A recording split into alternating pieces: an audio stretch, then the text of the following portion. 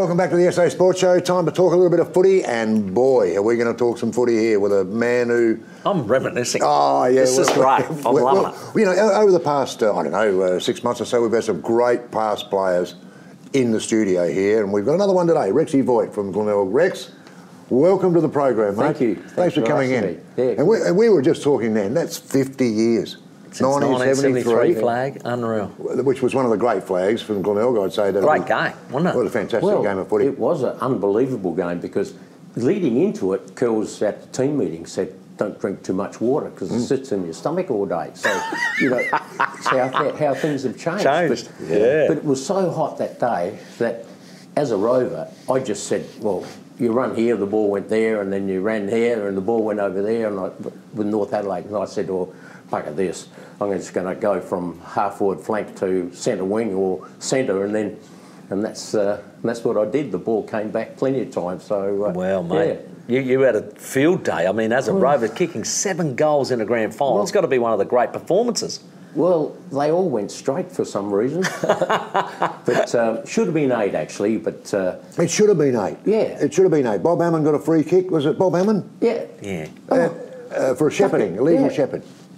Ducker was running out of the the diamond and blew his whistle. I mean, what the hell was that for? You know, the ball went over their head, and he he, um, he gave a free kick to Hammond because he was.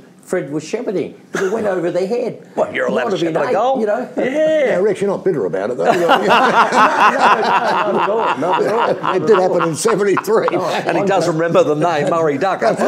I'm just bitter when I when we played Port Adelaide for the first time down down the port, and they said, "Look, you haven't played football down here until you go to Port Adelaide." Yeah. So, uh, okay, I said, "Yeah, fair enough." Well, went down there. Well, you know, you got a. A, a knee in the groin, and you got a knee in the head, and you bloody, you know, That's like because they like you. Was that in the warm up? Yeah. and I, I soon realised what it was all about then. Yeah, it's a tough game of footy. So- well, it because was there was no. Jack Oatey medal back there as well. No. Tim. You've got to remember, got to think of that. You, you probably would have your name on a Jack Oatey Yeah. right now. Well, no, well, put it this way, no doubt. I think you would have your name on a Jack Oatey yeah. there. You kicked seven goals as a rover. and mm. It should have been eight, mm. according to mm. Rexy. Yes. And- Give me up, Jack.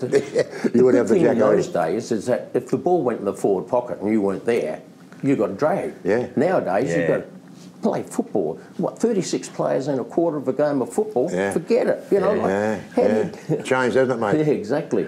Hey Rex, I want to go right back. You're a, you're a Loxton boy. I am, So in, in a similar era to you know, Bruce Light, Russell Ebert. Yes. The Riverland were producing pretty good footballers back then. Well, Russell was uh, playing junior Colts when I was playing senior Colts up there. Yeah. And then he got a shift to the bank in uh, to Waikerie, and uh, Yeah. But he's we I played with his brother Bill. Yeah, yes, of course. back, so uh, And, and there was no zones back then. So No. how were you picked no, up? it was it was West Adelaide. It was still West Adelaide Yeah, area. right.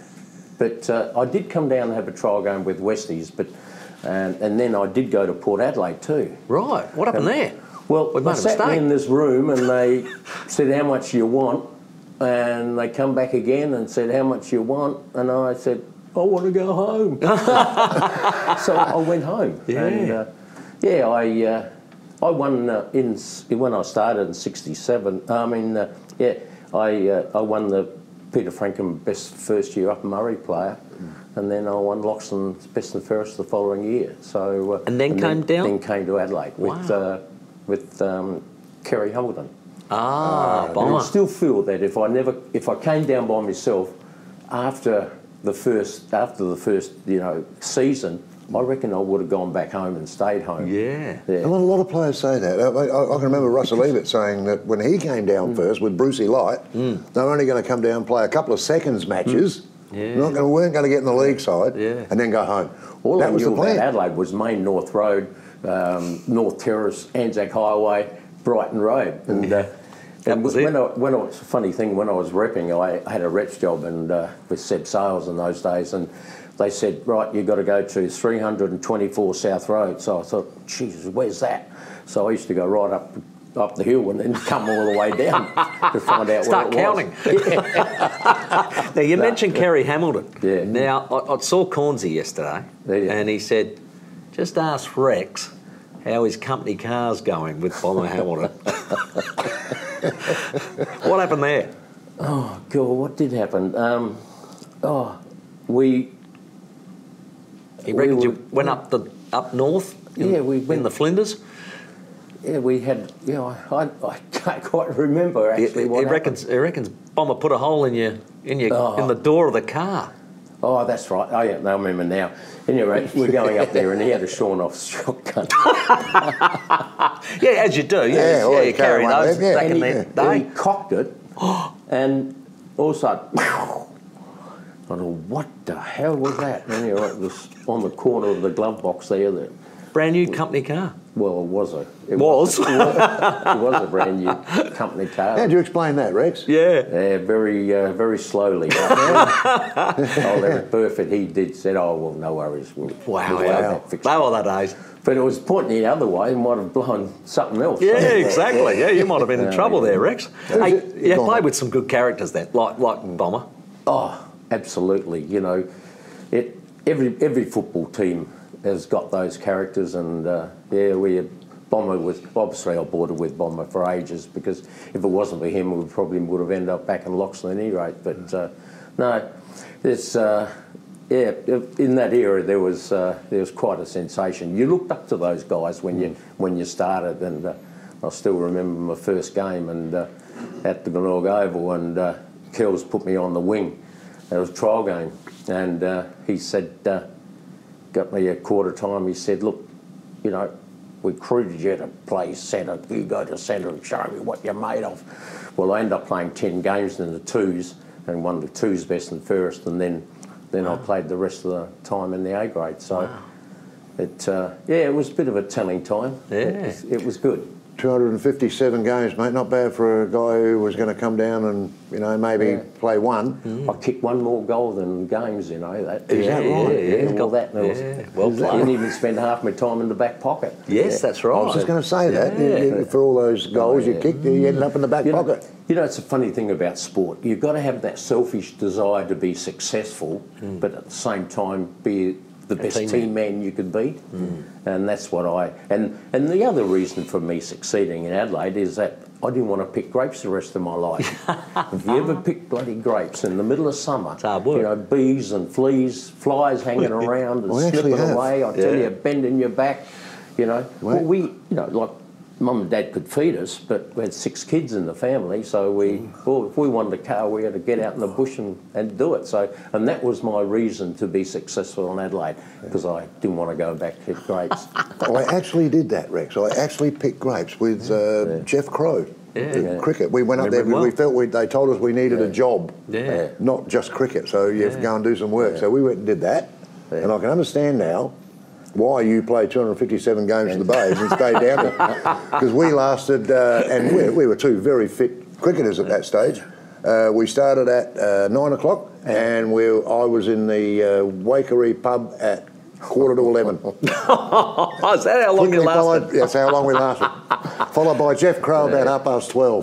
so, yeah, no, a tough Hard gig. job. Yeah, tough those gig. were the days. Yeah. Hey, Rex, you did a little bit of coaching, uh, and I believe you coached a young fella called Chris McDermott uh, in the juniors. Yeah, well, they it came up um, down the bay, and they, they had under fif- under 13s, under 14s, and uh, at any rate, they approached me to see if I wanted to coach the kids, and uh, so you know, having those two on your side was, uh, and with uh, Chris taking over number 10, which was well, that a was what I was going to say. He loved did, you that yeah. much, he wanted to wear number He, 10. he is incredible, and Steph, Stephen Kernahan too. You know, Yeah. like they were, we had a lot of fun with. There's some good players. Old Harry was a uh, he was the uh, secretary or whatever you like Yes, to call it. He was everything. He was But, uh, everything. no, it was a joy, and and the thing is, they they put oh, not pressure, but you felt pressured to actually um, play well yourself, so they could you know, role model you to a certain extent. yeah. But when when we started training, I I never did laps. No. Never.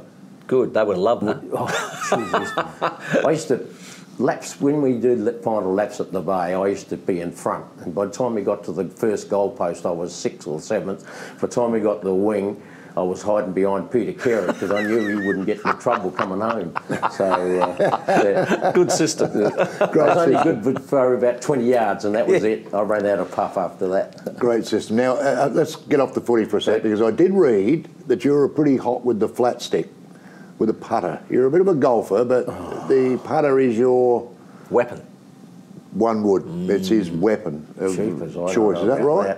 Um, are we right here? Well, it hasn't quite improved since then, I tell you. Hasn't they never I do, mate. Trust me. I do play down the patter Monday mornings and Friday mornings. Get up Yeah. at six o'clock, daybreak. So we hit Yeah. off at number one. We've gone, yeah, I think it went that way. Another one hit off, yeah, I think it went that way. And then you say, oh, got no idea. Then you go and find, oh yeah, this will do this ball. Until it But- gets light. Yeah, that economic. You're right. You we start finished by nine nine thirty. You've still got the day to yourself. Yeah, if you great start call. at ten o'clock, Too late. oh, It's true, mate. You're still there at two o'clock in the afternoon. No, that, that's that's a very so- good point. We used to do the same Yeah, so thing.